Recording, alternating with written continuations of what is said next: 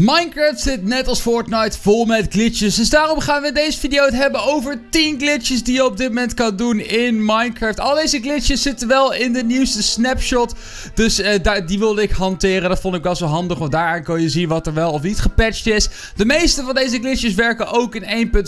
Volgens mij bijna alle glitches werken ook in 1.14.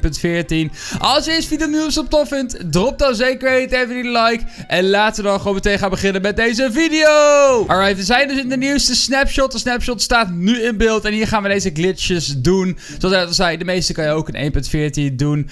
Uh, ja, ik kan hier ook net als bij, eh, Mike, bij Fortnite wel zeggen... Glitches is verboden, je kan ervoor verbannen worden. En al helemaal als je een aantal van deze glitches doet op play.veelvraag.nl... Daar kan je dus voor verbannen worden als je sommige van deze glitches doet. Niet alle glitches, maar sommige van deze zijn verboden. Alright, laten we beginnen bij de eerste glitch. En de eerste glitch is ook eigenlijk de meest standaard glitch. Een hele simpele glitch die ik even snel jullie wil laten zien. Namelijk als je een flowerpot ergens op, op plaatst, dan kan je natuurlijk de, dingen eronder weghalen. En dan heb je het volgende, namelijk een gat. Tenminste, als je vanaf de onderkant kijkt, dan lijkt het net alsof er een gat in de flowerpot zit. Maar dat is natuurlijk niet echt zo. Normaal, gesproken, als je hem plaatst, dan zit er geen gat onder. Maar zodra je eronder gaat kijken, of zit, je er, zit er geen gat in. Maar als je eronder gaat kijken, dan zie je dat er een gat onder zit.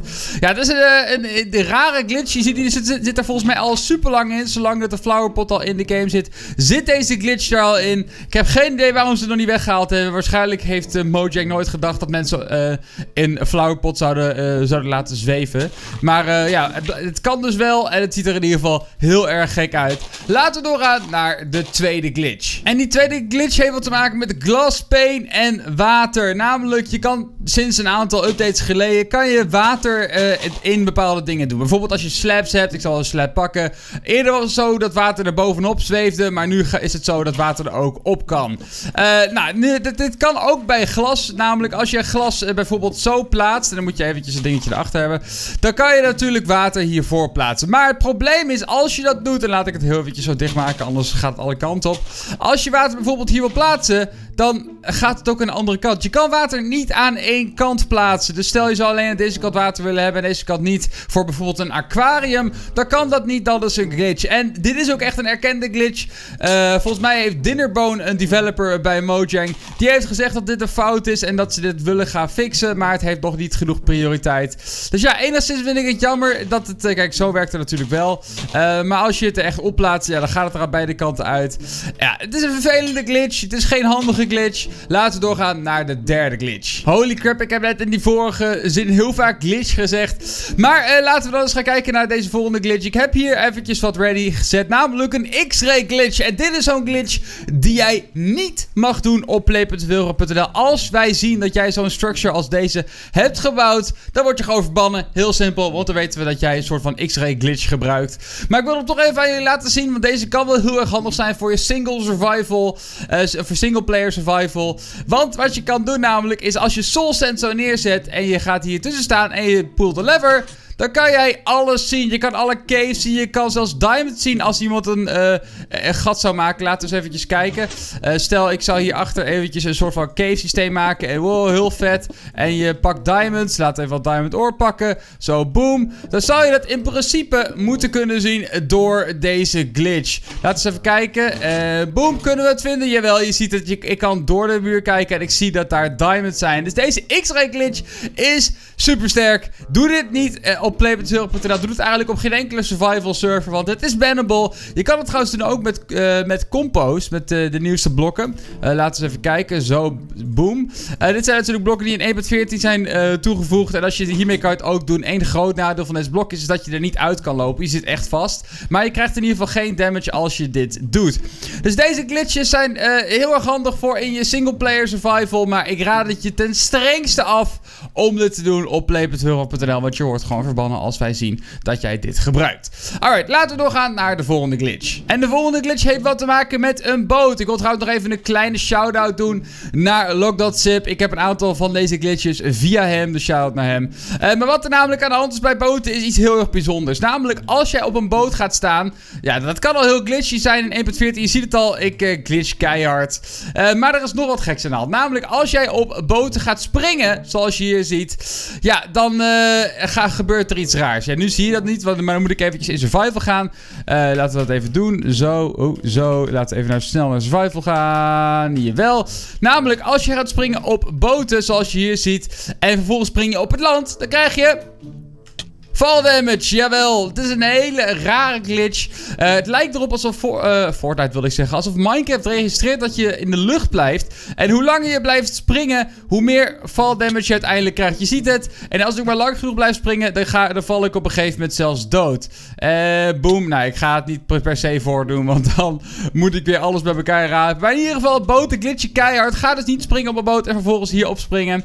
Wat je trouwens ook hebt, is dus deze hele rare glitch. Dat je echt heen en weer stuttert. Ik heb geen idee wat er aan de hand is met boten. Ik hoop dat ze het heel snel fixen. Alright, laten we doorgaan naar de volgende glitch. En deze glitch heeft te maken met panda's. Namelijk panda's zijn misschien wel de meest schattige animals in de game op dit moment. Kijk hoe cute hij... Oh, hij zet en hij heeft...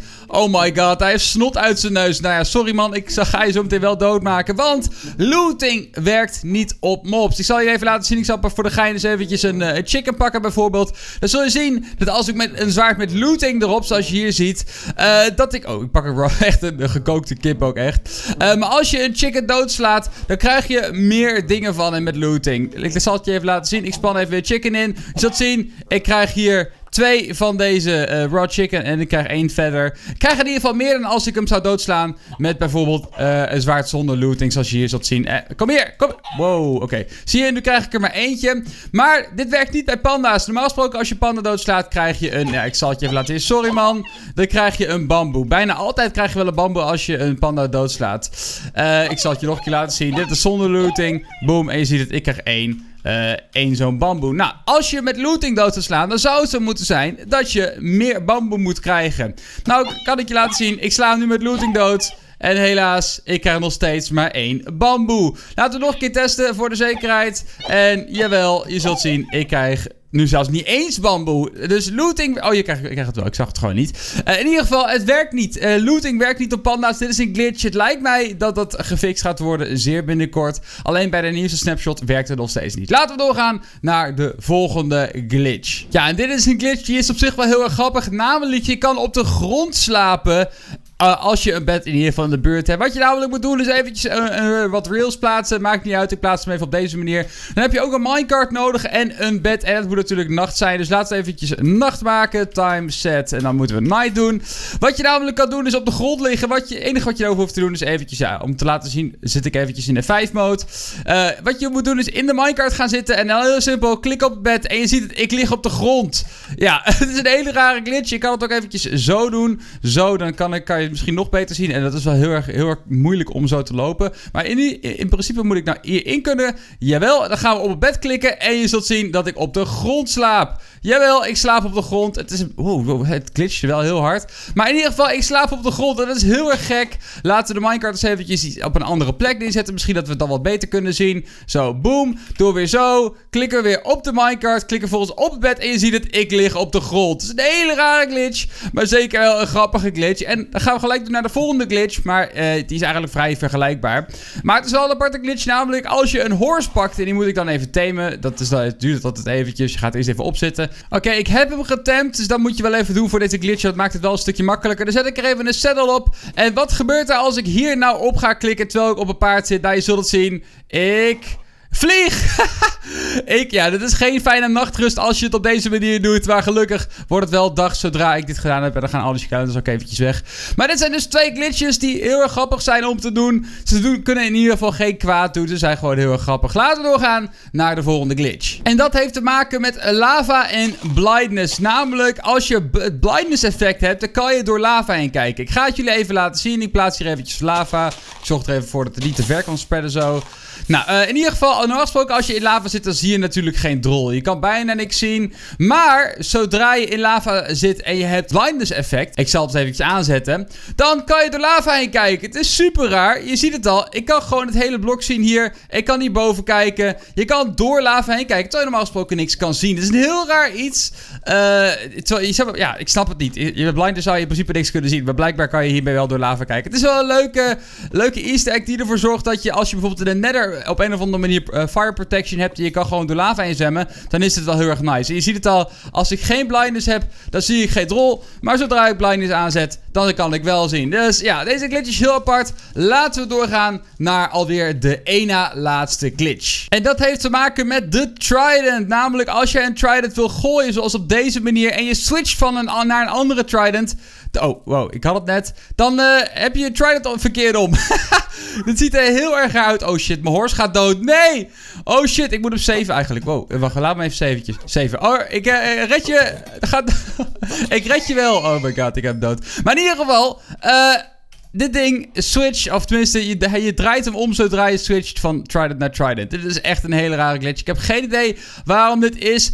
En er is nog iets raars namelijk, en dat is gelijk ook de laatste glitch. Nou, als jij namelijk op shift drukt, dan, ja, dan zweeft je Trident. En Deze glitches zijn gewoon heel erg raar. Hiermee kan je vrienden trollen. Het kan eigenlijk niemand kwaad doen. Maar het ziet er wel heel erg grappig uit. Dames en heren. Wow, dat ding ging heel erg ver. Dames en heren, dit was het einde van deze video. Ik hoop dat je deze video super tof vond. Als je deze video super tof vond, drop dan zeker weten even een like. Abonneer op de veel gevraagd met dat belletje. Klik even op de video's hieronder. En ik zou zeggen tot de volgende keer. En peace out. Doei!